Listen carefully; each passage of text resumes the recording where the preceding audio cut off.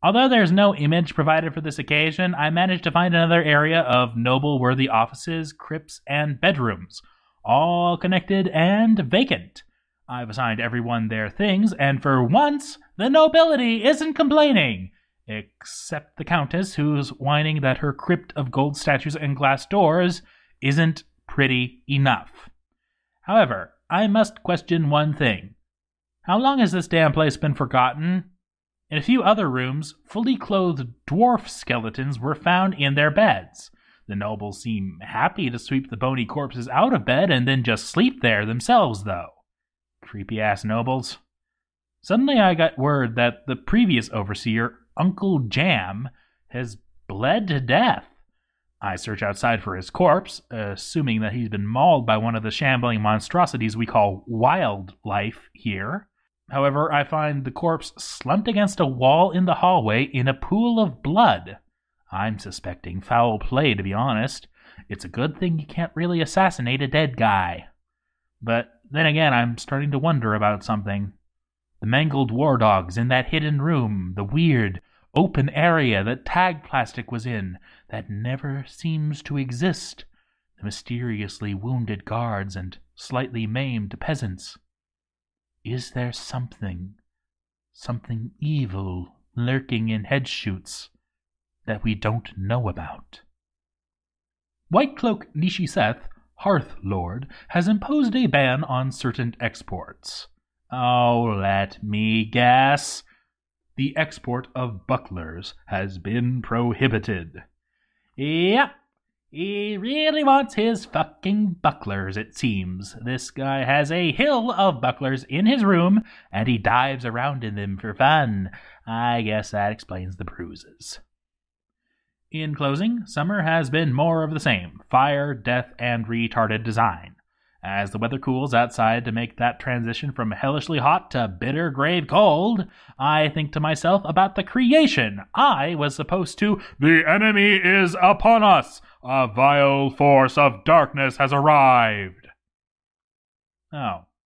Well, fuck. Snowdoob Nogospungu Goblin has returned. Scouts report that it's a war party led by the local leader of the goblin fort, Snowdoob, a master marksman with a crossbow, and an army of well trained rustlers. From the north, a goblin guard and a group of goblin crossbowmen. I don't need to tell you how dangerous those marksmen are. They can nail a dwarf in the throat from a mile away.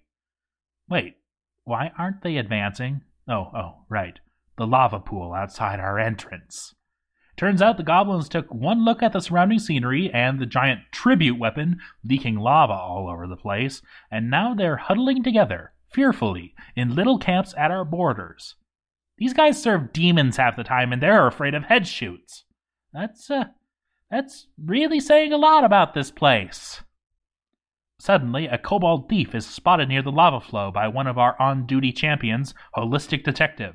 The kobold makes a run for it and, uh, wait, what the hell is he? I leave you with this final shot for summer of Holistic Detective charging through a lake of fucking lava to maul a kobold beyond recognition. He survives without a scratch. Remind me to never, ever piss off our military. It seems that Holistic Detective's lava immunity was due to a full suit of well made adamantine plate mail, with the chest piece being a legendary work engraved with the feet of Land's Lantern on the front. Even while spattered with vomit, blood, and booze, it looks pretty awesome. We can only hope it will stand up to goblin crossbow bolts, should they eventually advance. Oddly enough, nobody has bothered to bury Uncle Jam. He's rotting in the hallway, and it's really starting to smell.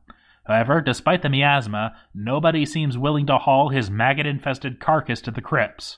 I figured they would be more respectful of the guy who made Tribute Weapon, though, given what it's currently doing, I can kind of understand. White Cloak Nishiseth, Hearth Lord, has been re elected. White Cloak was re elected as mayor on the Make Me More Bucklers platform.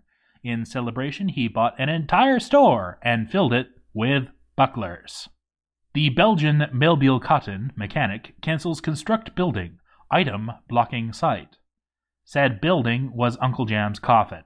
The Belgian dragged it to the forgotten subtunnels under the fortress and left it there. I really, really wonder what this guy did to piss everyone off so bad. Meanwhile, Oh god, what the hell was that? S- some kind of rotten goat thing! oh shit. Oh fuck. Whose fucking idea was this? Who the hell wanted us to come out here? No, no. There's more of them. It's a rain and lava and everything smells like death. I want to go home. Back in the fortress. Thief, protect the horde from skulking filth. Oh, come on. Is he really going to try this after what just happened to the last kobold? Why, yes. Yes, he is. This little idiot ran into a room full of champion soldiers only to come flying back out the door seconds later in five pieces. Frog is still lightly injured and has a new injury to their lower spine. Oh man. While I was busy watching the troops rip the kobold limb from limb, turns out whatever broke Frog's hand, and earlier leg, in the first place, came back and broke his spine. I don't think he's getting out of that bed anytime soon. Suddenly, a previously unseen squad of goblin lashers and wrestlers charge the fort with a horrible war cry. Where did these guys come from? A small gap in the lava pool formed, providing safe passage across. Now, now is the time! Attack! The carnage is indescribable. Once the wrestlers charged into the group, their war cry became screams of pain. Organs, limbs, heads, and more flew from the battle. What's even more impressive is that most of the soldiers here don't even carry weapons. They're literally tearing them apart with their bare hands. Why, one unlucky goblin took a direct uppercut to the chin during the fight. He proceeded to zip across the sky and fly nearly three screens diagonally from the battle before he met the ground with a loud, fatal crunch. Judenhauer Rulnisch, fortress Nazi, is taken by a fey mood. The first battle won, we decided to take it easy again for a bit and let the goblins just deal with the rotting fiends outside. Then, suddenly, Judenhauer begins to scream at us in an incomprehensible language, charging down the halls, shouting about his Führer or Furrier or, or something like that. He claimed a workshop and then began to demand silk. Manuel Calavera agrees to help make the needed spider's silk. However, grab spider webs no more than two rooms away translated to run down a long hallway into a room full of gears, shafts, and lava, then up the stairs towards the goblins in his mind. He's quickly killed by a bolt to the throat, and the goblins discover a back entrance to the fort. The military, thankfully, arrives in time. The goblins are led by a guard whose full title seems to be The Fright. He suddenly began a large monologue about the unwinnable war and how Manuel was only the first of many casualties. He then began to leap around shouting, The Fright! Uh, so much that one of the dwarves tore out his lungs in a rage. Inexplicably, he proceeded to explode after death, destroying his corpse. The gore was spread over multiple floors. Besides Manuel, no casualties were reported. One dwarf's spine was lightly scratched, but he's expected to recover. Manuel will be given a small tomb for his help during the Headshoots Divide. His death also caused the other weavers to wise up and gather the easy to get webs. Soon, Judenhauer was able to begin work on whatever he's decided to build. I still can't understand him. A wall has been engraved with Idash Libad, the moist praises. Engraved on the wall is an exceptionally designed image of a goblin and a dwarf by Dusim Onul Zuglar. The goblin is making a plaintive gesture. The dwarf is laughing. While waiting for our latest artifact to be done, I decided to check out some of our fort's artwork, which is usually engraved right into the walls and floor. At first, it starts out pretty awesome goblins being slaughtered by dwarves. Merceth du the lucky steed. Engraved on the wall is an exceptionally designed image of a dwarf and a dwarf by Broken Box Olint Dune. The dwarf is striking down the dwarf. then things get kinda creepy.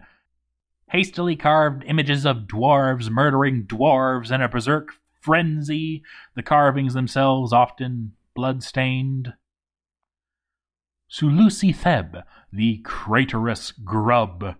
Engraved on the wall is an exceptionally designed image of a dwarf by Broken Box. The dwarf is engraving.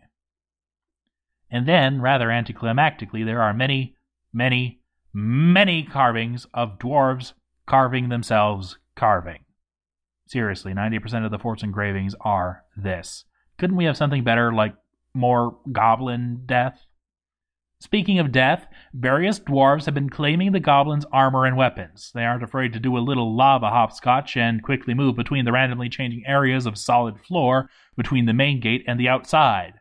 Instead, I had an alternate passage built. Now the dwarves can take a ramp up to the cliffs and then back down on the other side of the wall. Call it wimpy, but I'd prefer it to burning, screaming dwarves setting everything ablaze. An artifact has been constructed. Misho Sotik, Beach Scene, a Dolomite Bed. This is a Dolomite bed. All craftsdwarfship is of the highest quality. It is encrusted with dolomite and encircled with bands of cave spider silk and demon bone. The object is adorned with hanging rings of tower cap and menaces with spikes of cave spider silk. Judenhauer finishes his creation. That's Wow! A bed. Made out of stone. That must be uncomfortable. Still, this is the most metal bed I've ever seen. The thing is covered with spiderwebs and the bones of slain demons. I have added it to his quarters since he's the one who made it. That still doesn't stop him from giving me nasty looks every time he passed me in the hall. An engraving Themnol Dozeb, the inconvenient fruit. Engraved on the floor is a image of four pointed stars by Brute Force Erith Zokun. Something about an engraving in my tomb or something, I don't know. Also, we have barrels of raw fish and plenty of fishermen, but no fishery. I quickly fixed this problem and got one of our more useless dwarves on fish cleaning duty. I mean, really, who prides themselves on being a good potash maker? Also, it turns out for some dumb reason I'm not allowed to award tombs posthumously. Instead, I gave the tomb to Holistic for that lava waiting stunt. Once he's dead and buried within, it's going to be flooded with lava. A human diplomat from Mongdur has arrived. Turns out this guy showed up outside. No caravan, no guards, hell, not even a squire. The guy just shows up alone and begins booking it across the dead landscape, screaming like a little ninny the entire time.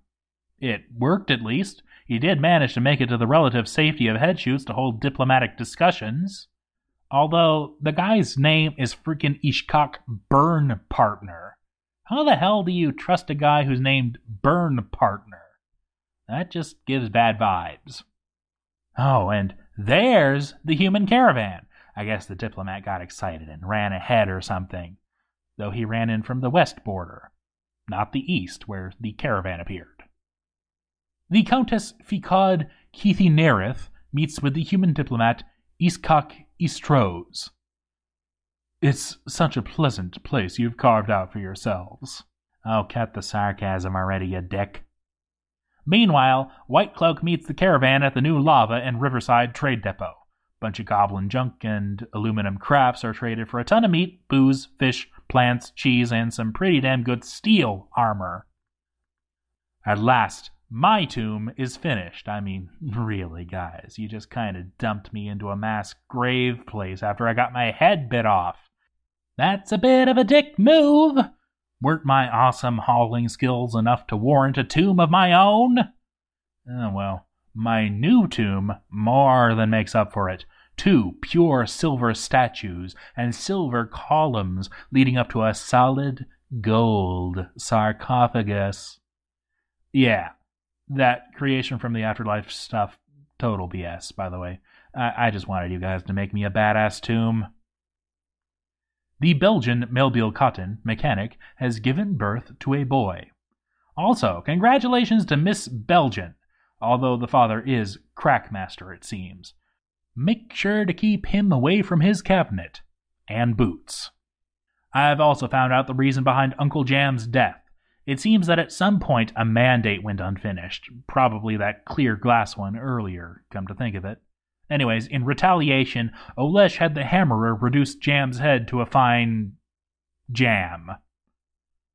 Tremendous majestic Etzesson, peasant, has given birth to a boy. Sheesh, another one? I guess it's repopulation time or something. I've come to realize something, actually. This overseer thing, it's a pain. Yeah, I'm having fun ordering people around, scaring small children by threatening to eat their brains, and living in a royal bedroom, but it's a huge problem. Everyone expects you to solve every little issue they have. Have you ever had a headache when your head isn't even attached? It's a real bitch. Orange soda Luslem Lolar has become a legendary champion. All hail Orange Soda Luslem Lolor. I've been inducted into the fortress's champions, you see. I plan to retire now to the military and spend my undeath fighting and killing. You know, though, I could have it all. I could keep the luxuries, the power, the status of leader. All it would take would be more effort and patience with the problems every overseer faces. Nah, screw it.